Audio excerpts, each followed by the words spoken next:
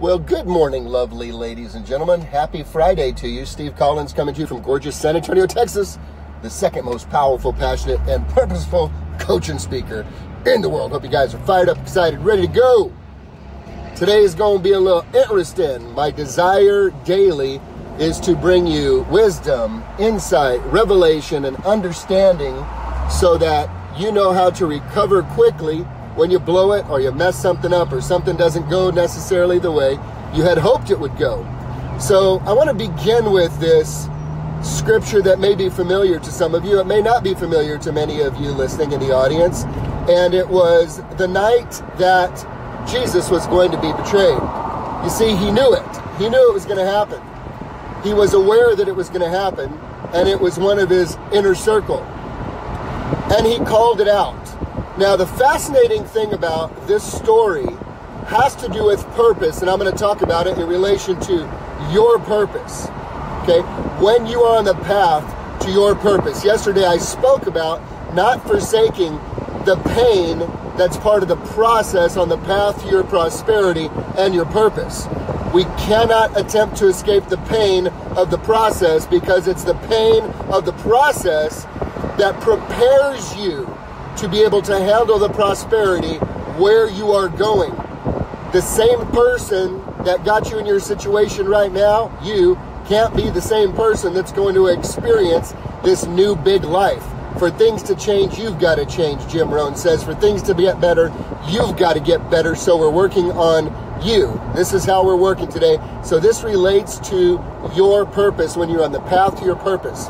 Now, some of you may or may not know, I'm going to treat this story as if nobody all knows about this. Y'all like, who's this guy named Jesus? So he had these 12 dudes that he hung out with, and he was like, you know, this guy who was doing cool stuff back a couple thousand years ago. Might have heard about him in Easter or Christmas time. Christmas time, ladies and gentlemen, ain't about a fat guy in a red suit. So what happened was his closest buddy, his closest buddy, a dude named Peter, was listening, and Jesus was talking about what was going to happen. He's like, yep.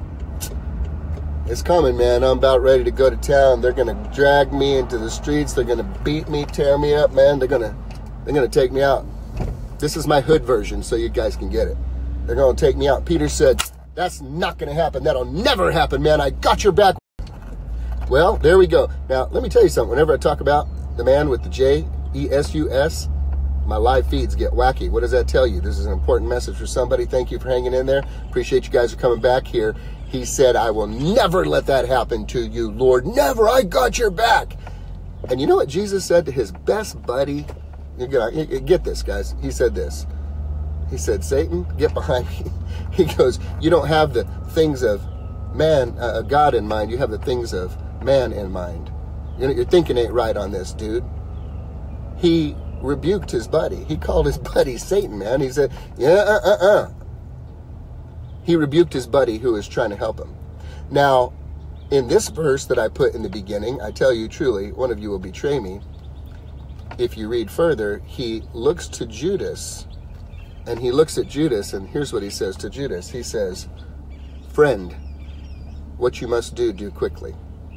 Now, get this, ladies and gentlemen. His closest, tightest buddy, who's trying to hook him up and help him out and say, Man, no, no, it ain't going to happen to you.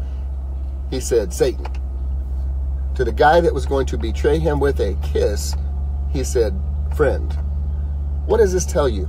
This tells you that his purpose, like yours, see, he knew his purpose. He knew where he was going. He knew what he was doing. He knew what he was called to do, what he was supposed to do. He knew what he was on the earth to do. And his buddy who loved him out of self preservation missed that and his friend and his love for Jesus, and Peter's love for Jesus, was actually tempting to pull him away from his purpose by saying, I got your back, it ain't going to happen to you, buddy. He was pulling him from purpose. And Judas, albeit that Christ's purpose was very gruesome, to lay his life down, he knew Judas was pushing him towards his purpose, so he called him friend. He rebuked his buddy, and he called his betrayer friend. So, what do I bring this to a head for? Let me tell you something fascinating. Many of you guys do not know. I actually have a team of prayer warriors who got me covered, y'all. and I get intel from time to time and I get information back and forth and and I just, you know, I know what I'm doing is bigger than just that's why I'm not charging y'all for all this, man. I know what I'm doing is bigger than just um, a job. Okay? This is my desire to change people's lives. When you have a sense that you are in your purpose, do not be surprised if someone or something rises up to come against you to keep you out of your purpose. In fact, I would challenge you to expect it. If it happened to the very Son of God, it makes you think it ain't going to happen to you. You see, when you are walking in your purpose on the path to becoming all God created you to be, resistance is part of the deal. Resistance is part of what's going to happen. Look at this. Every time I do these meeting, mo- these morning videos about Jesus, crazy stuff happens. Like my rooftop is acting crazy. So I'm just going to leave it crazy like that so I can finish this out without being distracted. Do not be surprised when you have resistance that comes against you when you are walking on the path to your purpose. On the path to your purpose. If you're not having resistance, you might not actually be on the path you're supposed to be on. I heard an old preacher one time say, if you don't fear the devil, you might be walking in his direction. So think about it this way and be aware of it this way. Don't be shocked if you have resistance. Don't be shocked if you have opposition. Don't be shocked if uh, not everyone who is following you has your best interest in mind. You understand what I'm saying? Everybody who's watching you don't necessarily have your best interest in mind. You have got to be faithful to what you believe God has called you to do and to be and to have. And like we spoke about yesterday, don't care about what people think about you and care about what people think about you. What does that mean? Don't care about what people think about you to the point that it pushes you off the path of your purpose. Do not allow those who are not connected to you to have that type of influence over you. Do not care what people think about you when it comes to your purpose. Care what people think about you as you increase in leadership and influence because know that you are actually an example. You are becoming a living example. You may be the only Bible somebody reads. You may be the only good life somebody reads. You have no place to complain about anything going on in this world if you're not living the life that you would want everybody else to live. Let me ask you this question in closing. If this country was made up of people like you who are at where you are spiritually, physically, mentally, emotionally, relationally, financially, would our country be amazing or would it be a train wreck? That's a great question, ain't it? So I pose this to you, my friends.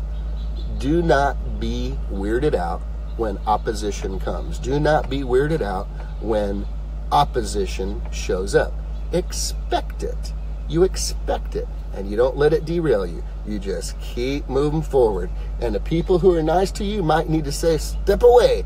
And the ones who are a little crazy with you, you might need to say, how you doing, friend? Thank you for that. Thank you for that. That's pushing me to my purpose of building a thick skin and keeping a soft heart so that I can walk the path to my purpose on the way to prosperity, becoming all that God created me to be. Don't be a scared when you have resistance, recognize that's probably a pretty good sign that you're on the right path. Have a great Friday, guys.